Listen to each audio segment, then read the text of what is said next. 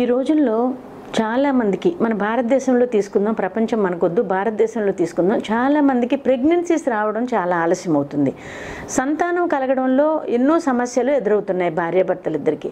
ఎందుకని ఎదురవుతున్నాయి? ఏంటి అంటే ఇప్పుడు చాలామందికి ఆడవాళ్ళల్లో లేటుగా మ్యారేజ్ చేయడం అందరికీ చదువుకోవాలని తెలుస్తుంది ఇప్పుడు. సో కంపల్సరీ చదివిస్తున్నారు ఆడపిల్లల్ని. ఆడపిల్లలు చాలా బాగా చదువుకుంటున్నారు. అట్లాగే కనీసం ఇరవై ఐదు సంవత్సరాల వరకు చదువుకోవడం ఆ తర్వాత జాబ్ వచ్చిన తర్వాత మరలా సెటిల్ అవ్వడం కొంచెం డబ్బులు సంపాదించడం కొంత పేరెంట్స్కి ఇవ్వడం తర్వాత మ్యారేజ్ చేసుకుంటామంటాం మేము సెటిల్ అయినాక చేసుకుంటామంటాం ఇలా ఎక్కువైపోతుంది. అలాగే ఆహార పద్ధతులు ఆహారపు అలవాట్లు చాలా మారిపోయినాయి. ఒకప్పుడు ఇంట్లో చేసుకుంటే కానీ మనం తినేవాళ్ళం కాదు. అలాగే హోటల్స్కి వెళ్ళడం అనేది చాలా తక్కువగా ఉండేది. ఇప్పుడు హోటల్స్కి వెళ్ళడం ఎక్కువైపోయింది జొమాటో స్విగ్గీ ఇలాంటి ఫుడ్ హ్యాబిట్స్ అన్నీ కూడా బయట నుంచి మనం చాలామంది తెప్పించుకుంటున్నారు. సో వాటి వలన మనకేమవుతుంది? ఆహారంలో మార్పుల వలన డయాబెటీస్ వస్తుంది. అట్లాగే ఈ పిల్లలు లేనితనం కలుగుతుంది. అలాగే మగవారిలో వీరికణాల లోపం తలెత్తుతుంది. ఆడవారిలో అండాశయ సమస్యలు ఎదురవుతున్నాయి. అలాగే పీరియడ్స్ ఇరెగ్యులారిటీ చదువు స్ట్రెస్ కానీ లేదంటే ఏ జాబ్ వలన ఆడవాళ్ళలో స్ట్రెస్ ఎక్కువైపోయి ఇర్రెగ్యులర్ పీరియడ్స్ ఇవన్నీ కూడా అలాగే గర్భసంచిలో గడ్డలని లేకపోతే ట్యూబ్స్ బ్లాక్ అని ఇలాంటి ప్రాబ్లమ్స్ లేదంటే ఎవరైనా లోపల infections urinary tract infections pelvic inflammatory diseases అలాగే అనేకమైన ప్రాబ్లమ్స్ ఎండోమెట్రియోసిస్ లేదంటే గర్భసంచి వాపు రావడం ఇవన్నీ కూడా చాలా సమస్యలు చాలా ఎక్కువగా ఎదురవుతున్నాయి. అన్నిటికన్నా ముఖ్యమైన సమస్య మేల్ ఇన్ఫర్టిలిటీ మగవారిలో సంతానం ఉత్పత్తికి కారణమయ్యే శుక్రకణాలు చాలా వరకు తగ్గిపోవడం బీర్జాలలో ఇన్ఫెక్షన్ తలెత్తడం బీర్జాలు వాపు రావడం varicocele hydrocele hernia inguinal hernia ఇలాంటి ప్రాబ్లమ్స్ రావడం ఒక్కోసారి వాటికి ఆపరేషన్స్ చేయించుకుంటే ఆ సర్జరీస్ చేసుకున్న తర్వాత కొంతమందికి పెరగచ్చు కొంతమందికి పూర్తిగా కూడా తగ్గిపోయే అవకాశాలు వీర్యకణాలు తగ్గిపోవడం జరుగుతుంది. లేదంటే భార్యాభర్తలు కలవడంలో సమస్యలు. భర్తకి భార్యకి వేరే వేరే ప్లేసుల్లో ఉద్యోగాలు ఒక ఆమెకి నైట్ డ్యూటీ ఒక ఆయనకి డే డ్యూటీ. లేదంటే ఆపోజిట్. లేదంటే ఇద్దరు ఉద్యోగం చేసి బయటికి వచ్చేటప్పటికి ఆఫీస్ నుంచి బయటకు వచ్చేటప్పటికి పూర్తిగా అలసిపోవడం. అలసిపోయిన పోరాటం. వచ్చేటప్పటికి ఇంట్లో చాలా బోర్ కొడుతుంది. ఏదో రైస్ గబగబా కొంచెం రైస్ కుక్కర్లో పడేసుకుని ఒక రెండు కూరలో ఏవో బయట నుంచి తెచ్చుకోవడం. ఈ పద్ధతులన్నిటి మూలంగా ఈ సంతానము అనే సమస్య సంతానోత్పత్తి సమస్యగా మారిపోయింది. ఈ సంతానోత్పత్తిని మనం సక్రమంగా సాగించడానికి ఏ విధంగా ట్రీట్మెంట్కి వెళ్ళాలి? అసలు ఏం కారణాలు ఉన్నాయి? మీకు భార్యలో ఉన్నాయా? భర్తలో ఉన్నాయా?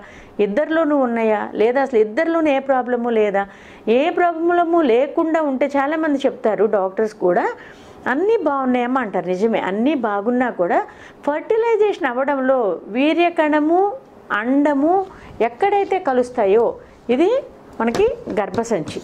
ఈ గర్భసంచి పై పొర మధ్యలో పొర లోపల పొర. ఈ లోపల పొరలో మీకు బిడ్డ అనేది వచ్చి నాటుకుంటుంది. అసలు బిడ్డ నాటుకోవడానికి ఏర్పడాలి కదా? ఎలా ఏర్పడుతుంది? ఇక్కడ ట్యూబ్స్. ఈ రెండు ఫెలోపియన్ ట్యూబ్స్. ఈ ట్యూబ్స్ బ్లాక్ అయినా కూడా మనకి బిడ్డ అనేది ఏర్పడదు. అంటే ఎంబ్రియో పిండం ఏర్పడదు. ఇక్కడ ఆడవారిలో అండాశయాలు ఉంటాయి మగవాళ్ళలో రెండు బీర్జాలు ఉంటాయి. అలాగే కాయల్లాగా అండాశయాలు ఉంటాయి ఈ అండాశయాలు అండోత్పత్తి జరుగుతుంది. ఉదయం మామూలుగా మనకి పీరియడ్ అయిన తర్వాత బయట ఉన్న రెండో రోజు నుంచి అండం పెరుగుదల మొదలై బయట ఉన్న పన్నెండు పదమూడు పద్నాలుగు రోజుల్లో అండం ఒక సమర్థమైన ఒక రూపాన్ని సంతరించుకుని పద్దెనిమిది నుంచి ఇరవై మిల్లీమీటర్ల సైజు వచ్చి అది రప్చర్ అయ్యి పగలగొట్టుకుని బయటకు వస్తే ఈ ట్యూబ్ దీన్ని తీసుకోవాలి. అండం ఉత్పత్తి కావడానికి అలాగే రప్చర్ అవడానికి గర్భసంచి లోపల హార్మోన్లు అన్నీ కూడా మంచిగా తయారయ్యి ఆ లోపల ఎండోమెట్రియం బలంగా పెరగడానికి అన్నిటికీ మనకి బ్రెయిన్ నుంచి చిన్న హైపోథెలామస్ అని కుంకుడు గింజంత పార్ట్ ఉంటుంది. అక్కడి నుంచి pituitary gland pituitary hormones hypothalamus hormones ovaries ఇవన్నీ కూడా ఒక అనుసంధానం లాగా ఇప్పుడు మనకు ఒక స్కూల్ ఉంటుంది. దానికి ఒక కరెస్పాండెంట్ ఉంటారు. తర్వాత అంటే ఆ school owner. Next head master next teachers. Next counsellors. Next పిల్లలు. అక్కడి నుంచి కరెక్ట్గా సక్రమంగా అన్నీ ఉంటే పిల్లలు బాగా చదువుతారు. అలాగే పిల్లలు కూడా చాలా బాగా చదివితే ఆ స్కూల్కి బాగా పేరు వచ్చి వాళ్ళకు కూడా డబ్బులు వస్తాయి సో ఈ విధంగానే మనకి పైనున్న బ్రెయిన్లో మనకు ఆలోచన లేకుండా ఇప్పుడు ఎందుకు ఆలోచనలు అంటున్నాను? స్ట్రెస్. ఇంకొక పెద్ద ప్రాబ్లము పిల్ల సంతానానికి ఇబ్బందికరమైన పరిస్థితి ఎదురవుతుంది స్ట్రెస్ వలన. ఆఫీసులో స్ట్రెస్ ఇంటికి వచ్చాక స్ట్రెస్ డబ్బులతో స్ట్రెస్ కారు కొనుక్కోవాలి స్ట్రెస్ లేకపోతే ఇల్లు కట్టుకోవాలి అనేది స్ట్రెస్. మళ్ళీ అవన్నీ అప్పులు తీర్చడం ఇంకో స్ట్రెస్. సో వీటన్నిటికీ సంబంధించిన స్ట్రెస్ వలన అధికంగా ప్రొలాక్టిన్ అనే హార్మోను మనకి బ్రెయిన్లో ఉత్పత్తి అయ్యి దానివల్ల అండాశయ ప్రొలాక్టిన్ పెరిగిపోయినా కూడా అండా ఉత్పత్తి తగ్గిపోతుంది. ఇట్లాంటివి ఎన్నో సమస్యలు లేదా థైరాయిడ్ సమస్యలు. సో ఇలాంటి సమస్యల వలన మనకి పిల్లలు పుట్టడం అనేది డిలే అవుతుంది లేదు గడ్డలు బ్లాక్స్. ఇక్కడ మనకి అండాశయాలకి ప్రాబ్లం ఎండోమెట్రియోసిస్. ఇట్లాంటి సమస్యలు అన్నీ కూడా వస్తున్నాయి కాబట్టి పిల్లలు పుట్టడం లేట్ అవుతుంది. అయితే మీ అందరికీ కూడా మేము చెప్పేది ఏంటంటే మా ఇరవై రెండు సంవత్సరాల అనుభవంలో చాలామందికి రీజన్ సరిగ్గా ఎక్స్ప్లెయిన్ చేయలేక వాళ్ళకి తెలియక ఈ ట్రీట్మెంట్ డిలే అయిపోయి ఈ ట్రీట్మెంట్ వల్ల పిల్లలు పుట్టడం లేట్ అవుతుంది. ఇంకొక కారణం ఏంటంటే ఒక్క నెల రెండు నెలలు మూడు నెలలు ట్రీట్మెంట్లో అందరికీ రాదండి ప్రెగ్నెన్సీ. కనీసం మూడు నెలల నుంచి ఆరు నెలల పాటు ఒక డాక్టర్కి టైం ఇవ్వండి. మీకు చెప్పిన విధానంలో ట్రీట్మెంట్ చేయించుకోండి. ఒక్కొక్కరికి ఒక్కొక్క ప్రాబ్లం ఉంటుంది. ఆ ప్రాబ్లం ఇలా క్లియర్ అవుతుంది అని చెప్తే రెండు నెలలు మూడు నెలలు టైం ఇవ్వండి డాక్టర్కి.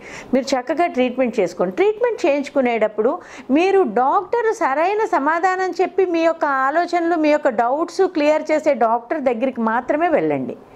సో మీరు ఎక్కడికైనా పర్వాలేదు ఏ డాక్టర్ దగ్గరికైనా పర్వాలేదు. కానీ మీరు చక్కగా ట్రీట్మెంట్ మీకు చక్కగా ఆన్సర్ ఇవ్వగలిగే డాక్టర్ల దగ్గరికి మాత్రమే మీరు వెళ్ళండి.